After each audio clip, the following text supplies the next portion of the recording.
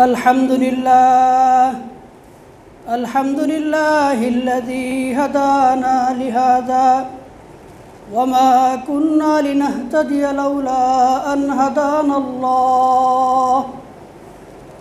وأكمل لنا ديننا وأتم علينا نعمته ورضي لنا الإسلام دينا.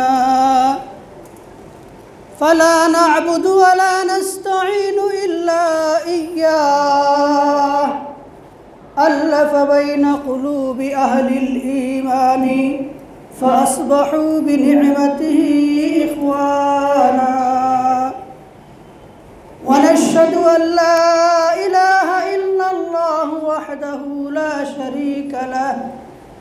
ونشهد أن سيدنا وسندنا وحبيبنا ومولانا محمد صلى الله تعالى عليه وعلى آله وأصحابه وبارك وسلم تسليما كثيرا. أما بعد فأعوذ بالله من الشيطان الرجيم. بسم الله الرحمن الرحيم.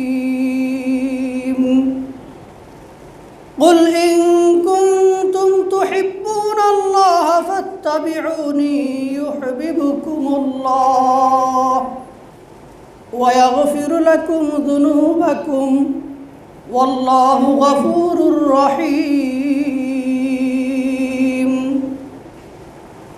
وعن أبي هريرة رضي الله تعالى عنه أن النبي صلى الله عليه وسلم قال والذي نفسي بيده لا يؤمن أحدكم حتى أكون أحب إليه من والده وولده.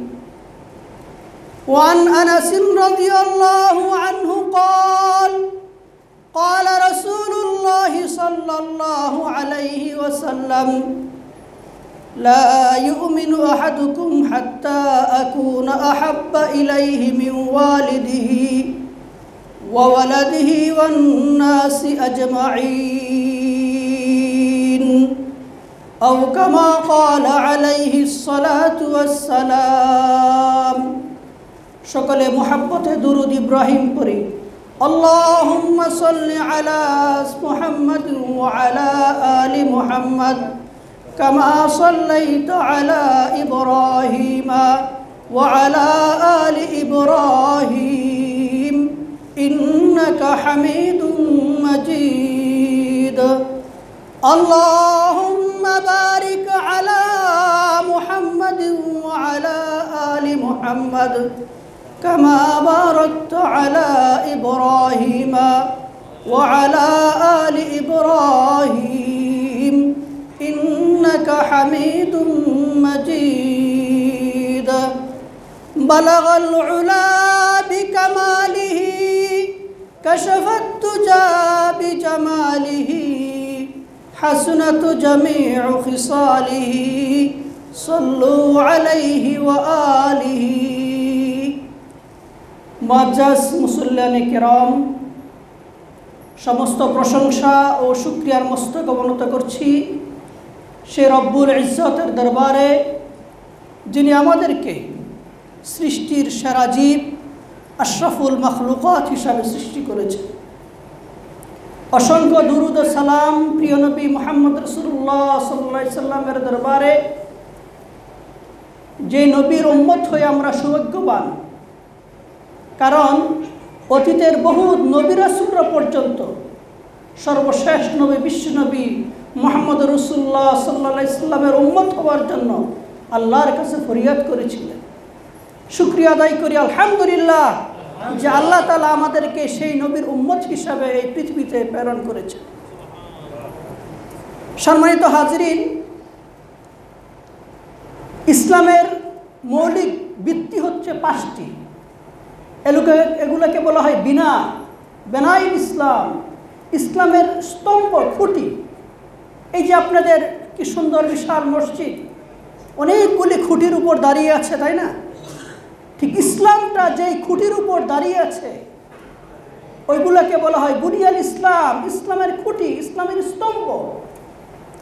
প্রখ্যাত সাহাবি হজরত আবদুল্লাহ ইবনে অমর রাজ্লাহ তালানু থেকে বর্ণিত, তিনি বলেন বনিয়াল ইসলাম আলা খামস শাহাদাতি আল্লাহ ইলাহা ইল্লাল্লাহ وأن محمد رسول الله وإقام الصلاة وإيتاء الزكاة والحج وصوم رمضان হজরত আবদুল্লাহ ইবনে ওমর রাদিয়াল্লাহু বলেন আল্লাহ রাসূল সাল্লাল্লাহু আলাইহি সাল্লাম ফরমায়াছেন যে ইসলামের ভিত্তি হচ্ছে, স্তম্ভ হচ্ছে পাঁচটি। কয়টি? এক নম্বর হচ্ছে শাহাদাতি আল্লাহ ইলাহা ইল্লাল্লাহ। এক আল্লাহর সাক্ষী প্রদান করা। আল্লাহ ছাড়া কোনো মামুদ নাই, তিনি এক, অদ্বিতীয়। কুলহু আল্লাহ আহাদ, আল্লাহ সমাদ, লাম ইয়ালিদ ওয়া লাম ইউলাদ, ওয়া লাম ইয়াকুল লাহু কুফুয়ান আহাদ। এক আল্লাহর সাক্ষী দেওয়া হচ্ছে প্রথম স্তম্ভ। দ্বিতীয় স্তম্ভ কি? ও আন্না মুহাম্মদ রাসূলুল্লাহ। মোহাম্মদ সাল্লাহ সাল্লাম আল্লাহ তালার রসুল।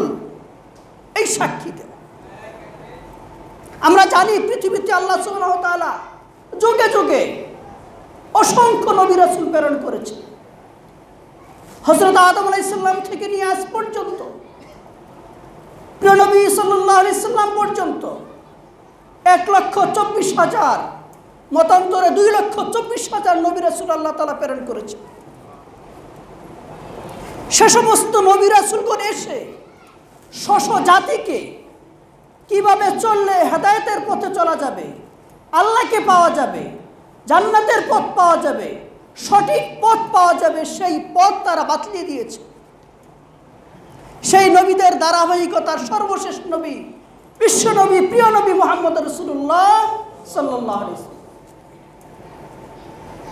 এই হাদিসের মধ্যে আল্লাহ রসুল বলেন যে ইসলামের ভিত্তি হচ্ছে পাঁচটি। এক আল্লাহর সাক্ষী দেওয়ার পর হজরত মোহাম্মদ সাল্লাহ সাল্লাম আল্লাহ তালার রাসুলের সাক্ষী দেওয়া। তাহলে রাসুল সাল্লামকে সাক্ষী দেওয়া স্বীকৃতি দেওয়া তার উপর ইমান আনা ইসলামের মৌলিক স্তম্ভ দ্বিতীয় স্তম্ভ সুরা আল ইমরানের একত্রিশ নং আয়াতে আল্লাহ সুবহান তাআলা বলেন قل إن كنتم تحبون الله فاتبعوني يحببكم الله ويغفر لكم ذنوبكم والله غفور رحيم قل হেন আপনি বলে দেন ইন কুনতুম তুহিব্বুন আল্লাহ যদি তোমরা আল্লাহকে ভালোবাসো যদি তোমরা আল্লাহকে ভালোবাসো ফাত্তাবিউনি আমার অনুসরণ করো আমার ইত্তেবা করো আমাকে মহব্বত করো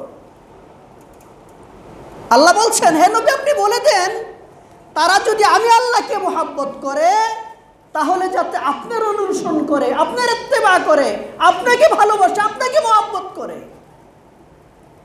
এখন আপনারা প্রশ্ন করতে পারেন যে আল্লাহ রসুলকে মহাব্বত করলে ভালোবাসলে কি হবে? কেন আমরা মহব্বত করব? এর উত্তর আল্লাহ সাথে সাথে দিয়ে দিচ্ছেন। ইহবিবুকুমুল্লাহ তোমরা যদি প্রিয় নবী সাল্লাহ সাল্লামের এত্তেবা করো, অনুসরণ করো, মহাব্বত করো, ভালোবাসো। ইহবিবুকুমুল্লাহ আমি আল্লাহ তোমাদেরকে ভালোবাসবো, মহাব্বত করব। তাহলে আল্লাহর ভালোবাসা, আল্লাহর মহাব্বত পেতে হলে রাসুল ইসলামের অনুসরণ করতে হবে। শুধু তাই নয়, আল্লাহ শুধু ভালোবাসবেন এতটুকুই সীমাবদ্ধ নয়। সাথে সাথে বলছেন তোমাদের জীবনের সমস্ত গুণ আমি মাফ করে দিই তাহলে আল্লাহ রসুল সাল্লামকে ভালোবাসলে, মহাব্বত করলে আল্লাহর ভালোবাসা পাওয়া যাবে এবং আল্লাহর ক্ষমা পাওয়া যাবে, দয়া পাওয়া যাবে। আল্লাহ হচ্ছে ওহুয়াল গফুরুর রাহিম, ক্ষমাশীল এবং দয়ালু। আল্লাহ কি? ক্ষমাশীল এবং দয়ালু। প্রথম যে হাদিসটা বললাম, সেই হাদিসের মধ্যে বলছি যে ইসলামের মৌল স্তম্ভ কয়টা? পাঁচটা। এর দুই নম্বরটা কি? রাসুলের, রাসুলকে সাক্ষী দেওয়া। রাসুল যে শেষ নবী, এই বিশ্বাস করা, এর উপর ইমান আনা, এই সাক্ষী দেওয়া। আয়াতের মধ্যে আল্লাহ কি বলছেন? আমি আল্লাহর মোহাব্বত যদি তোমরা পেতে চাও তাহলে রাসুলের অনুসরণ করো, রাসুলের ইত্তেবা করো, রাসুলকে ভালোবাসো, রাসুলকে মহাব্বত করো। রাসুল যেভাবে বলছেন এইভাবে চলো। রাসুল যা করতে বলেছেন তা করো। রাসুল যা নিষেধ করেছেন তা থেকে বিরত থাকো। রাসুলের অনুসরণ করো এত্তেবা করো। এত্তেবা অনুসরণ হচ্ছে তার জীবনের সব কিছু পালন করা। যদি করি, কি ফায়দা, কি উপকার, কি লাভ? তা আল্লাহ বলে দিচ্ছেন ইয়াগফিরুলাকুম ইউহিবুকুমুল্লাহ আল্লাহ তোমাদেরকে ভালোবাসবেন এবং তোমাদেরকে ক্ষমা করে দিবেন। তাহলে এই আয়াত এবং হাদিসের দ্বারা আমরা বুঝলাম, আল্লাহ রসুল সাল্লামের উপর যেরকম বিশ্বাস রাখতে হবে, তেমনিভাবে তার অনুসরণ করতে হবে, তার এত্তেবা করতে হবে, তাকে ভালোবাসতে হবে, তাকে মহাব্বত করতে হবে। মহাব্বত কাকে বলে? ভালোবাসা কাকে বলে? আরবিতে বলা হয় মাইলানুন নফস। ভালোবাসা মানে হচ্ছে অন্তরে অন্তর ধাবিত হওয়া, অন্তর আকর্ষিত হওয়া। স্বাভাবিকভাবেই নারী এবং পুরুষ দুইটা শ্রেণি আল্লাহ তৈরি করেছে একজন নারীর প্রতি একজন পুরুষের একটা আকর্ষণ আল্লাহ তালা সৃষ্টিগতভাবেই দিয়ে দিয়েছে কেউ যদি বলে যে আমার নারী দেখলে আকর্ষণ হয় না মনে করতে বেশ অসুস্থ। আকর্ষণ এটা আল্লাহ প্রদত্ত দেয়া। তো মোহাব্বত বলা হয়, ভালোবাসা বলা হয় মাইলানুন নফস। অন্তর যেখানে ধাবিত হয়, অন্তর যেখানে আকর্ষিত হয়। আল্লাহ বলছেন নিসা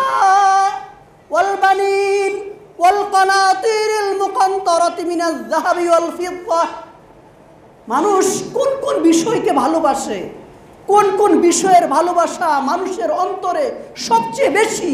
এর একটা তালিকাও আল্লাহ কোরআনে বলেছে। যাই হোক, আমি সেদিকে যাচ্ছি না। আমার আলোচনার যে বিষয় আল্লাহ রসুল বলছেন যে ইসলামের মৌলিক স্তম্ভ পাঁচটি। এর এক নম্বর হচ্ছে তাকে শেষ নবী হিসাবে, রাসুল হিসাবে সাক্ষী দেওয়া। আর আল্লাহ বলছেন, তোমরা যদি আমার মহাব্বত পেতে চাও, আমার ক্ষমা পেতে চাও তাহলে রসুল সাল্লাম অনুসরণ করে বা করো। এখন আমি বললাম যে ভালোবাসা কাকে বলে? অন্তর ধাবিত হওয়া।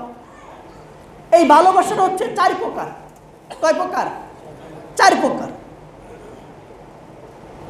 ভালোবাসার আরবি নাম আরবিতে বলা হয় মোহাব্বত। কি বলা হয়? মোহাব্বত। এই শব্দটা বাংলাতেও ব্যবহার হয়।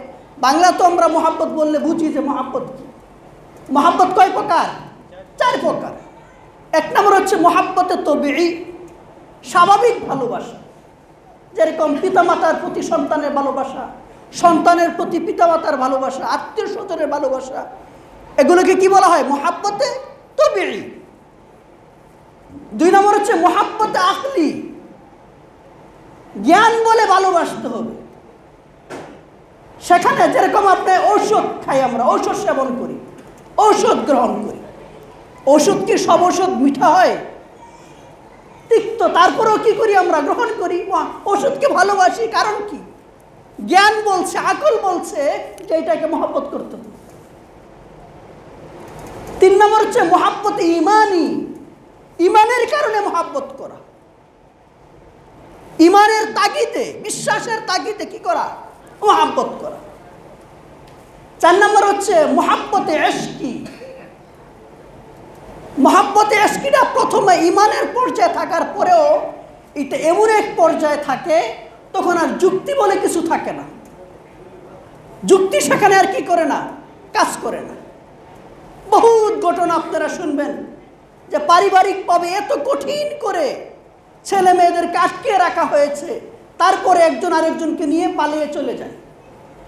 এমন ঘটনা সমাজে আছে অসংখ্য আছে। তাহলে এই ভালোবাসা কয় প্রকার? চার প্রকার। এক নম্বর হচ্ছে তবে দুই নম্বর হচ্ছে আকলি, তিন নম্বর হচ্ছে ইমানি, চার নম্বর হচ্ছে এশকি। আল্লাহ রসুল সাল্লামের ভালোবাসা এই সকল পর্যায়ের থেকেই তাকে ভালোবাসতে হবে। এইটা ইমানের দিক থেকেও, আকলের দিক থেকেও তবেই বা স্বাভাবিকভাবেও এশকের দিক থেকেও সকল ক্ষেত্রে মানুষ বিশ্বনবী সাল্লাহ সাল্লাম ভালোবাসার পাওয়ার উপযুক্ত। আমরা সমাজে বা মানুষ সাধারণত চার কারণে একজন অপরজনকে ভালোবেসে থাকে। একটু মনোযোগ দিয়ে শুনবেন। কয় কারণে ভাই? সবাই বলেন। জুমার আলোচনায় গতানুতিক কিছু হবে না, আমরা কিছু শিখে যেতে চাই। কি বলেন? একে অপরকে মানুষ ভালোবাসে কয় কারণে? চার কারণে। চারটি কারণে মানুষ একে অপরকে ভালোবাসে। এক নম্বর হচ্ছে জামাল, সৌন্দর্যের কারণে। বাহ্যিক সৌন্দর্য। দুই নম্বর হচ্ছে কামাল। আভ্যন্তরীণ সৌন্দর্য, অন্তরের সৌন্দর্য বিতর্গত সৌন্দর্য। কারাবাত কারাবাত মানে হচ্ছে আত্মীয়তার কারণে ভালোবাসে। চার নম্বর হচ্ছে এহসান দয়ার কারণে। কেউ আপনাকে দয়া করেছে, অনুগ্রহ করেছে, এই জন্য তাকে কি করেন? ভালোবাসে। দুনিয়াতে মানুষ সাধারণত একজন অপরজনকে চার কারণে ভালোবেসে থাকে, মহাব্বত করে থাকে।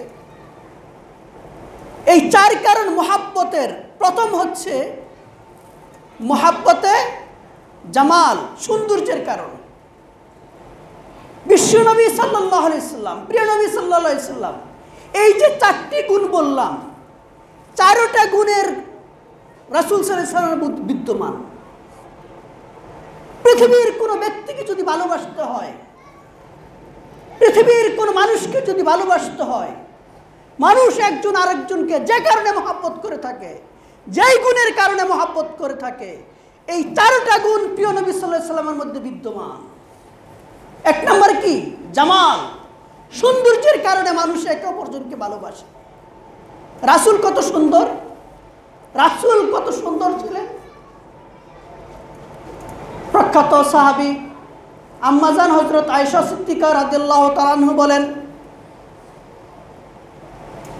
আল্লাহ রসুল সাল্লা সাল্লাম যখন গড়ে আসতেন, আমার কোনো কিছু যদি প্রয়োজন হইতো, খুঁজে না পাইতাম, তখন আমার আর চেরাগার বাতির প্রয়োজন হইতো না। রাসুল সাল্লাহ সাল্লাম আসার কারণে গড় আলোকিত হয়ে যাইত। রাসুল এত সুন্দর ছিলেন, রাসুল সাল্লামের সৌন্দর্য এত বেশি ছিল যে তার জন্য কি প্রয়োজন হইতো না? আলাদা কোনো লাইট কোনো আলোর প্রয়োজন হইতো না। রাসুল গড়ে আসলেই গড় কি হয়ে যাইতো? আলোকিত হয়ে যাইত। আয়সা সিদ্দিকা রাজিয়াল্লাহ তালানহা কবিতা আকারে বলেছেন, লানা শামসুন ওয়ালিল আফাকি শামসুন। লানা শামসুন ওয়ালিল আফাকি শামসুন। ওয়া শামসি আফজালু মিন শামসিস সামাই। فإن الشمس تطلع بعد الفجر وشمسي تطلع بعد العشاء লালা শামসুন ওয়ালিল আফাকি শামসুন যে তোমরা তো কত চন্দ্র সূর্য দেখে থাকো কত চন্দ্র তোমরা দেখছো আসে চলে যায় উদিত হয় আর আমার কাছে যে সূর্য রয়েছে তোমাদের সূর্যর সেটা হচ্ছে শ্রেষ্ঠ তোমাদের সূর্য উদিত হয় সকালবেলা, পূর্ব আকাশে। আর আমার সূর্য উদিত হয় রাতের বেলা এসার পরে। রাসুল কত সুন্দর ছিলেন। জামালের কারণে, সৌন্দর্যের কারণে কাউকে যদি ভালোবাসতে হয়, তাহলে রাসুল সাল্লাম ছিলেন শ্রেষ্ঠ সুন্দর। শেখুল ইসলাম হজরত মাওলানা কারি তৈব সব রহমতুল্লাহ আলাই যিনি দারুল উলুম দেবন্দের দীর্ঘদিনের মোহতামিন ছিলেন। তিনি বলেছেন, পৃথিবীর যত সৌন্দর্য আছে, সকল সৌন্দর্য আল্লাহ কুল কায়নাতকে দিয়েছেন, সকল সৃষ্টিজীবকে দিয়েছেন, আর অর্ধেক সৌন্দর্য দিয়েছেন প্রিয় নবী সাল্লাহ সমস্ত সৌন্দর্য সকল সকল সৌন্দর্যের মধ্যে অর্ধেক সকলকে ভাগ করে দিয়েছেন। আর অর্ধেক কাকে দিয়েছেন? বলেন। রাসুল সেলসেন নামটা সুন্দর করে বলেন। বিশ্বনবী সাল্লাহ দান করেছেন সাল্লাহ আলাইসাল্লাম তো জামালের কারণে, সৌন্দর্যের কারণে কাউকে যদি মহাব্বত করতে হয়, তাহলে কাকে মহাব্বত করতে হবে? প্রিয় নবী সাল্লাহ সাল্লামকে করতে হবে। হজরত বারা ইবনে আজব তাআলা বলেন যে পূর্ণিমার চাঁদে, পূর্ণিমার রজনীতে চাঁদ অনেক সুন্দর দেখা যায় না? একদম জলজলে পুরা মনে হচ্ছে যে আপনি বাইরে দাঁড়িয়েও পড়াশোনা করতে পারবেন। এত উজ্জ্বল, এত সুন্দর। তিনি বলেন, এই চোদ্দ তারিখ পূর্ণিমার চাঁদের দিকে আমি তাকাচ্ছিলাম আর প্রিয় নবী সাল্লা ইসলামের চেহারার দিকে তাকাচ্ছিলাম। আমি পার্থক্য নির্ণয় করার চেষ্টা করছিলাম, কোনটা বেশি সুন্দর?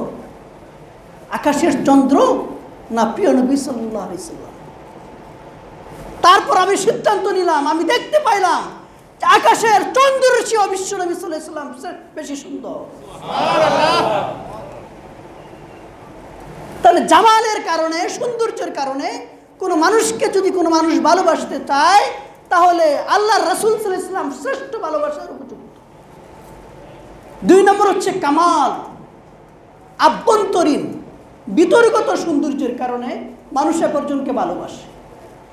মানুষের আচার, আচরণ, ব্যবহার, তার যেই আখলাখ, এগুলার কারণে একজন অপরজনকে কি করে? ভালোবাসে। এই বিষয়টাও রাসুল সাল ইসলামের মধ্যে সবচেয়ে বেশি ছিল, শ্রেষ্ঠ ছিল। আল্লাহ তো ঘোষণাই করে দিয়েছেন, ইন্নাকালা আলা খুলুকিন আসিম ইন্নাকালা আলা খুলুকিন আজিম তিনি খুলুকে আজিমের অধিকারী, শ্রেষ্ঠ শ্রেষ্ঠত্বের অধিকারী, সবচেয়ে বড় আখলাকের অধিকারী। বহুত ঘটনা রয়েছে তার শ্রেষ্ঠত্বের, তার এই আখলাকের অসংখ্য ঘটনা আপনারা জানেন। একজন মানুষ একজনকে যদি ভালোবাসতে চায়, আভ্যন্তরীণ সৌন্দর্যের কারণে, তাহলেও প্রিয় নবী সাল্লাহ সাল্লামকে সবচেয়ে বেশি কি করতে হবে? ভালোবাসতে হবে। কারাবাত আমার আলোচনাটার সামনে, এই জন্য আমি দ্রুত চলে যাচ্ছি। কারাবাত হচ্ছে আত্মীয়তার কারণে। আত্মীয়তার কারণে, আত্মীয়তার বন্ধনের কারণে একজন আরেকজনকে কি করে থাকে? ভালোবাসা থাকে। এই দিক থেকেও প্রিয় নবী সাল্লাহ ইসলাম সবচেয়ে শ্রেষ্ঠ। আল্লাহ রসুল সাল্লাম বলেছেন, ইন্নামা আন আলাইকুম বিমানজালাতিল ওয়ালিদ। যে আমি তো তোমাদের জন্য, তোমাদের পিতার সমতুল্য, পিতার মতো। আর এইটা, এই কারাবারটা আমাদের জন্য, সাধারণ মানুষের জন্য আরও বেশি। আল্লাহ তালা বলেছেন ও সাফা হফরতি যে তোমরা তো একবারে আগুনের কাছে ছিলে ফাঙ্কাদাকু মিনহা, সেখান থেকে তিনি তোমাদেরকে উদ্ধার করেছেন আল্লাহ রসুল সাল্লা সাল্লাম কারামতের দিক থেকে, আত্মীয়তার দিক থেকেও তিনি কি সবচেয়ে বেশি নিকটে, সবচেয়ে বেশি ভালোবাসার উপযুক্ত? চার নম্বর এহসান দয়া। রাসুল সাল্লামের দয়া, আল্লাহ আকবর। তার দয়াই তো সব। এই যা কিছু দেখছি আমরা, আসমান, জমিন, গ্রহ, নক্ষত্র, আমাদের চতুর্দিকে যা দেখছেন, মানুষ, জিন, ইনসান সব, যার উসিলায় সৃষ্টি হয়েছে। তিনি হচ্ছেন প্রিয় নবী সাল্লাহ সাল্লাম। আল্লাহ রসুল সাল্লাম বলেছেন যে এক হাদিসের মধ্যে আছে আল্লাহ আল্লাহ তালা বলেছেন যে প্রিয় নবী সাল্লাহ সাল্লামকে যদি আমি সৃষ্টি না করতাম, তাহলে আমি কিছুই সৃষ্টি করতাম না। এই জন্য কবি বলেছেন, মোহাম্মদ কু আগার পয়দা না করতে আসমা জমি পয়দা না হতে। মোহাম্মদ সাল্লাহ সাল্লামকে যদি সৃষ্টি করা না হইতো, তাহলে আসমান, জমিন কোনো কিছুই সৃষ্টি করা হইতো না। প্রিয় ভাইরা সম্মানিত হাজরিন, তাহলে মহাব্বতের কারণে, ভালোবাসার কারণে, একজন আর একজন যে কারণে ভালোবাসে থাকে, যে প্রকারগুলো রয়েছে, যে কারণগুলো রয়েছে, যে স্বভাবগুলো রয়েছে, জামাল, কামাল কারাবাত এবং এহসান এই সকল দিক থেকেও বিশ্বনবী সাল্লা সাল্লাম সবচেয়ে বেশি ভালোবাসা পাওয়ার উপযুক্ত। ইমাম বুখারি রহমতুল্লাহ আলাই এই জন্য বাপ কায়েম করেছেন, অধ্যায় কায়েম করেছেন। বাব হব্বুর রসুল সাল্লাম মিনাল ইমান যে আল্লাহ রসুল সাল্লামকে ভালোবাসা ইমানের একটি শাখা। এই রাসুলের ভালোবাসা স্বাভাবিক কোনো জিনিস নয়। এটা কি? ইমান রাসুলের ভালোবাসা যদি কারও অন্তরে না থাকে, রাসুলের মহাব্বত যদি কারও অন্তরে না থাকে, তাহলে মনে কর হবে তার ইমানই নাই। কারণ হব্বুর রাসুল মিনাল ইমান রাসুলকে ভালোবাসা হচ্ছে ইমান কেমন ভালোবাসতে হবে? কতটুকু ভালোবাসতে হবে? প্রথম আমি যে হাদিসটা তেলাওয়াত করেছি, সর্বাধিক হাদিস বর্ণাকারী সাহাবি প্রখ্যাত সাহাবি হজরত আবু হুরায়রা রাদিয়াল্লাহু তাআলা থেকে বর্ণিত তিনি বলেন আন্না রাসূলুল্লাহ সাল্লাল্লাহু আলাইহি সাল্লাম قال والذي نفسي بيده لا يؤمن أحدكم حتى أكون أحب إليه من والده وولده আল্লাহ রসুল সাল্লাহ সাল্লাম বলেন ওই সত্তার কসম যার হাতে আমার প্রাণ যার হাতে আমার মৃত্যু, আমার জীবন। বিয়াদিহি। ওই সত্তার শপথ করে বলছি তোমরা ততক্ষণ পর্যন্ত ইমানদার হতে পারবে না। হাত্তা আকুন আহাব্বা ইলাইহি। যতক্ষণ তোমরা আমাকে মহাব্বত না করো মিউয়ালিদিহি তোমাদের পিতামাতা থেকে ওয়ালাদিহি এবং ছেলে সন্তানের থেকে পিতামাতা এবং ছেলে সন্তানের চেয়ে বেশি যখন আমাকে ভালো নাম আসবে, তখন পর্যন্ত তোমরা মুমিন হতে পারবে না, ইমানদার হতে পারবে না। ইমাম বুখারিয়ার পরেই আরেকটি হাদিস এনেছেন। হজরত আনাস রাদিয়াল্লাহু তাআলা থেকে বর্ণিত, তিনি বলেন আহাদুকুম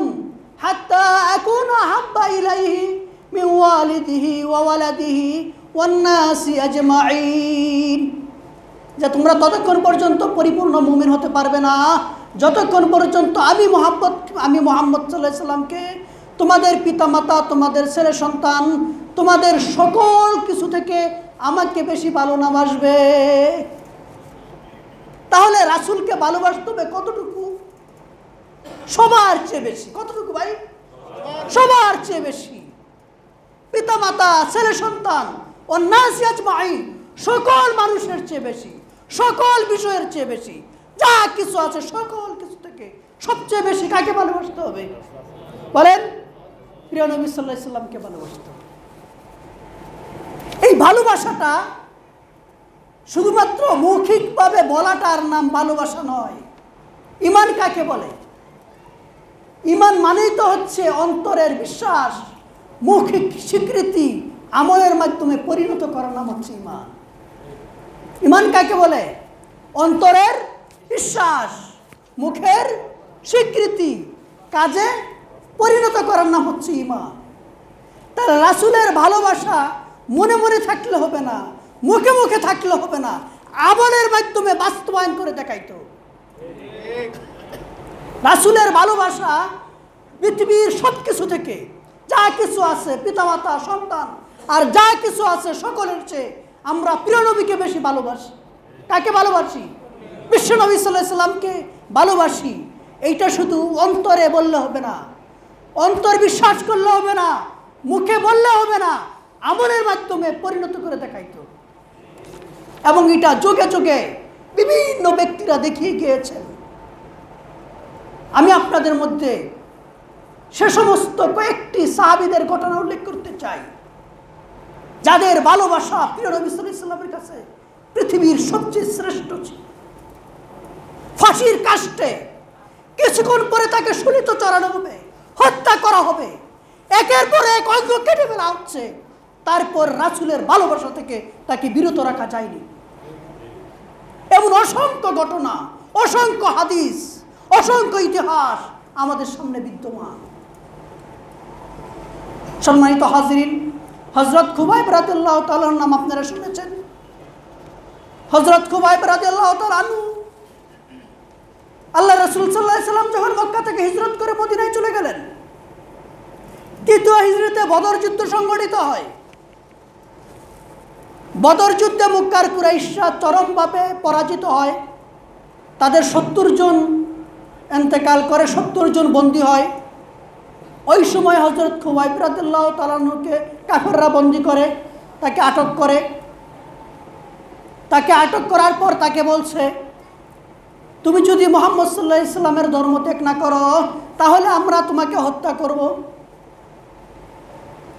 এইটা শুধু বলছে, শুধু তাই নয়, একের পর এক তার উপর কঠিন নির্যাতন নির্বাচন নিপীড়ন চালাচ্ছে। তাকে বারবার বলা হচ্ছে তুমি মোহাম্মদ সাল্লা সাল্লামের ধর্ম থেকে ত্যাগ করো, তোমরা তোমাকে ছেড়ে দিব। তুমি তো আমাদেরই লোক। তিনি কোনো অবস্থাতেই তাদের কথার উপর স্বীকৃতি না দিয়ে তিনি আশাদু আল্লাহ ইলাহা ইল্লাল্লাহ ওয়ান্না মোহাম্মদ রসুল্লাহ যে ঘোষণা দিয়েছেন, এই কথার উপর তিনি অটল অবিচল রয়েছেন। তারা বারবার বোঝানোর পরে, অনেক নির্যাতন নিপীড়ন করার পরেও যখন তাকে বিরত রাখা যাচ্ছে না তাকে হত্যা করার জন্য সকলে সম্মিলিতভাবে তাকে এক স্থানে নিয়ে গেল। তার ডান হাত কেটে ফেলা হইল। বলা হইল যে, তুমি তোমার এই মোহাম্মদের ধর্ম থেকে ফিরে আসো। তিনি ফিরছেন না। একজন জীবিত একজন মানুষকে, জীবিত একজন মানুষকে একটি অঙ্গ কেটে ফেলা হচ্ছে। একটু চিন্তা করুন, একটু ভাবুন। কতটুক পাষাণ হৃদয়ের হইলে কতটুক বর্বর হলে একজন জীবিত মানুষের অঙ্গ কেটে ফেলতে পারে? শুধু তাই নয়, একের পর এক অঙ্গ কাটছেন, হাত কাটছেন, পা কাটছেন, আরেক হাত কাটছেন, আরেক পা কাটছেন এবং বারবার বলছেন, এখনও ফিরে আসো, এখনও ফিরে আসো। খুবাইব সেদিন ব্যর্থ কণ্ঠে ঘোষণা দিয়েছিলেন, কখনোই আমি এই ধর্ম থেকে মোহাম্মদ সাল্লাহ ইসলামের বিশ্বাস থেকে আমি ফিরে আসব না। সর্বশেষ তারা তাকে অফার দিয়েছে আচ্ছা যাও, তোমার ফিরে আসতে হবে না। তুমি শুধু তোমাদের নবীকে একটু বর্ষণা দেও, একটু গালি দেও। তখন খুবাই বলল, খুদার কসম, রাসুল সাল্লামকে গালি দেওয়া তো দূরের কথা। তিনি রাস্তা দিয়ে হেঁটে যাবেন, তার পায়ে কোনো কাটা ফুটবে এইটা আমি খুবাইব জীবিত থাকতে বরদাস্ত করব। এরপর তাকে শুলিতে চড়িয়ে হত্যা করে ফেলা হয়েছে। এইটা নাম হচ্ছে রাসুলের ভালোবাসা। এইটা নাম হচ্ছে রাসুলের মহাব্বত। এই হাদিস যখন আল্লাহ রসুল সাল্লাম বলেছেন তেলাই মিনোহাতুকুম হাত্তা একুনা হাব্বা ইলাইহি মিওয়ালিদিহি ওয়ালাদিহি ওয়ান্নাসি আজমাইন এই হাদিস বলার পর হজরত উমর রাদিল্লাহ তালানহু রাসুল সাল্লাহ সাল্লামের দরবারে আসলেন। এসে বললেন, ইয়া রসুল্লাহ পিতা মাতা ছেলে, সন্তান, সবার চেয়ে আপনাকে বেশি ভালোবাসি, এটা ঠিক আছে, এটা মানলাম। কিন্তু আমার চেয়ে আপনি এতে বেশি ভালোবাসি, এটা তো বুঝতেছি না। আমি তো এটা পারতেছি না। তখন আল্লাহ রসুল বলছেন, হে ওমর, তাহলে তুমি এখনও পরিপূর্ণ ইমানদার হও নাই। কিছুক্ষণ পর হজরত ওমর নীরবে বসেছিলেন। বলছেন, ইয়া রাসুলাল্লাহ, এখন আমি আমার নিজের জীবনের চেয়ে আপনাকে ভালোবাসি। এই বিষয়টা অমরাতে কুরচে আসছে। তিনি উপলব্ধি করেছেন। সাথে সাথে আল্লাহ রসুল বলছেন, যাও, এখন তোমার ইমান পরিপূর্ণ হয়েছে। এরকম অসংখ্য ঘটনা হাদিসের পাতায় পাতায়। ওহুদ যুদ্ধের ঘটনা আপনারা জানেন। ওহুদ যুদ্ধে মুসলমানরা পরাজয় বরণ করেছে। ওহুদ যুদ্ধে অনেক ব্যক্তিরা শাহাদত বরণ করেছে। এক আনসারি মহিলা, আনসারি সাহাবি, রাসুল সাল্লামের বিষয়টা জানার জন্য পেরেশান। তিনি দৌড়াচ্ছেন ওহুদ যুদ্ধের দিকে ওহুদ ময়দানের দিকে। প্রথমধ্যে সাহাবিদের সাথে দেখা, বলল, তুমি কোথায় যাচ্ছ? তোমার পিতা তো শাহাদাত বরণ করেছে। সেই মহিলা দ্বার্থহীন ভাই বলছেন আরে আমার পিতার কি হয়েছে? তা আমি জানতে চাইনি, বলো। বিশ্বনবী সাল্লাহ সাল্লাম কেমন আছে? তিনি আরও কিছু দূর অগ্রসর হইলেন। অগ্রসর হওয়ার পর সাহাবিদের সাথে দেখা, সাক্ষাৎ। সকলে বললেন, তুমি কোথায় দৌড়াচ্ছ? তোমার ছেলে তো শাহাদাত বরণ করেছে। তিনি চিৎকার করে বললেন, আমার ছেলের কি হয়েছে? আমি জানতে চাইনি। বলো বিশ্বনবী সাল্লাহ সাল্লাম কেমন আছে? তিনি আবারও দৌড়াচ্ছেন উহুদের দিকে। পথমধ্যে আবার কিছু সাহাবাহিকার আমার সাথে দেখা। তারা বললেন যে, তোমার স্বামী তো শাহাদাত বরণ করেছে। তিনি ঘোষণা দিলেন দ্বার্থহীনভাবে বললেন, আমার স্বামীর কি হয়েছে তা আমি জানতে চাইনি। বলো বিশ্বনবী সাল্লাহ সাল্লামের কি অবস্থা?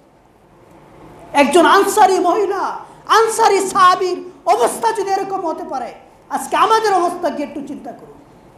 আমি কি বুকে হাত দিয়ে বলতে পারি? যে আমি আমার জীবনের চেয়ে বিশ্বনবীকে ভালোবাসি। যতক্ষণ পর্যন্ত বলতে না পারব, মনে করতে হবে আমার ইমানের মধ্যে এখনও ত্রুটি রয়েছে। আমি এখনও পরিপূর্ণ ইমানদার হতে পারলাম না। আফসোস, দুঃখের সাথে বলতে হয়, আজকের পৃথিবীতে বিভিন্ন দেশে বিশ্বনবীকে গালি দেওয়া হয়, তার অপমান করা হয়, তাকে কুলুক্তি করা হয়, এরপরেও মুসলমানরা ঘরে বসে থাকে। এরপরেও তার প্রতিবাদ করে না। যেই নবীকে সৃষ্টি না করলে কুল কায়নার সৃষ্টি হতো না।